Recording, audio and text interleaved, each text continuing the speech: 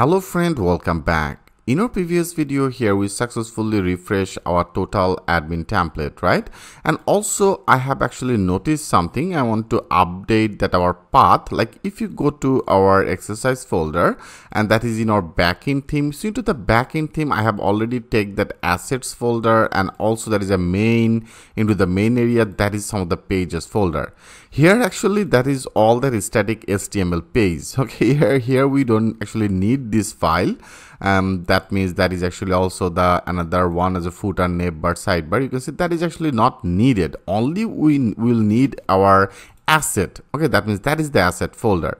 Here actually before I have already take it I want to update this part. Like that if you go to that public into the public you can see I have already take that our asset into the our public folder.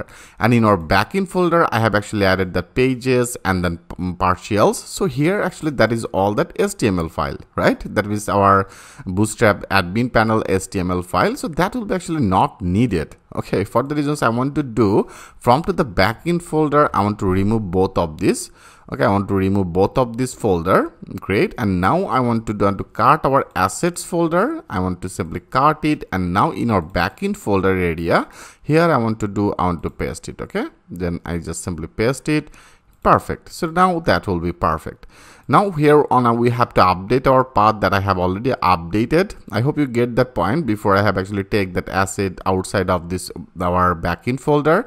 In and now I want to do to take all that our asset folder and I take it in our backend folder that I have created and now here I update right. That means here I have paste this our asset folder and that is all that our CSS. Now we also have to update it in our admin. That means if you go to our project into the project if you go to that our resources and then the view and then that is our admin right? I have already add all that our um, css jss in our admin dashboard. If you now go to that admin dashboard here you can see i have actually take it as an asset and then that is our asset vendor. So right now after that asset as i told you asset will be started from to the public folder and then after that we have to take that our backend folder and then that is our asset right? So for the reasons here we need to do here we have to simply add our folder name as a backend. Backend. Great. So that's all you have to do. That means that is our public folder and after the public that is our backend folder. So that is a public and then there is our backend folder and then that is our asset. And by default it will be automatically get that our asset vendor core okay? You can see that is everything will be just like that same. Now only want to update this backend here I want to paste it I want to paste it and also I want to paste it. And also here I want to paste it and then paste it. Great. So I hope you get that point.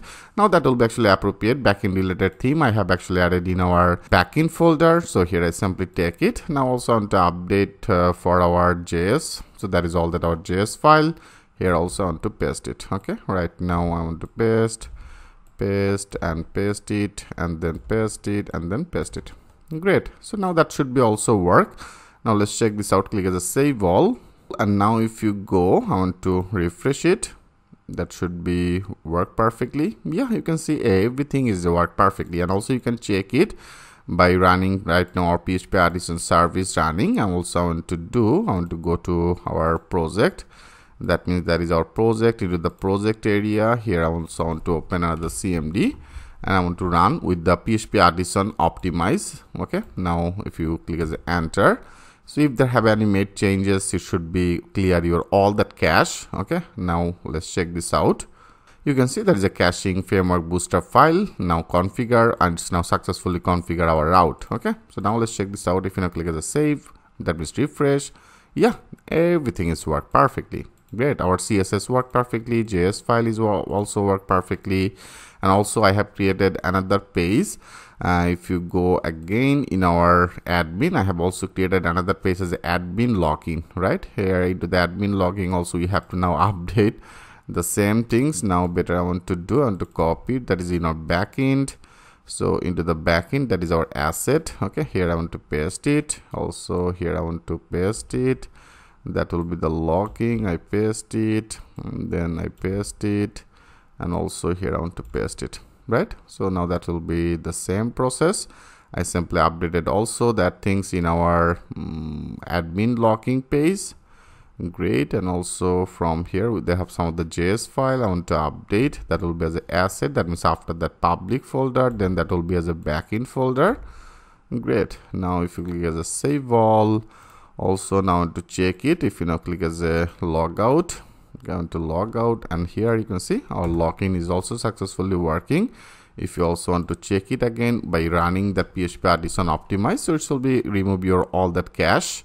Now i want to refresh it. Hmm perfect. You can see our um, this theme is also successfully working and from here if you log in with the admin and then password now logged in yeah we are successfully logged in. So here actually I, I, have noticed this part. So for the reasons here i simply shared that things with you simply change that directory here in our public folder in our backend folder. I have actually added all that our asset which things i have taken from to the backend theme okay great great. So friend that's all. So now let's uh, update our first of all i want to update which user is logging.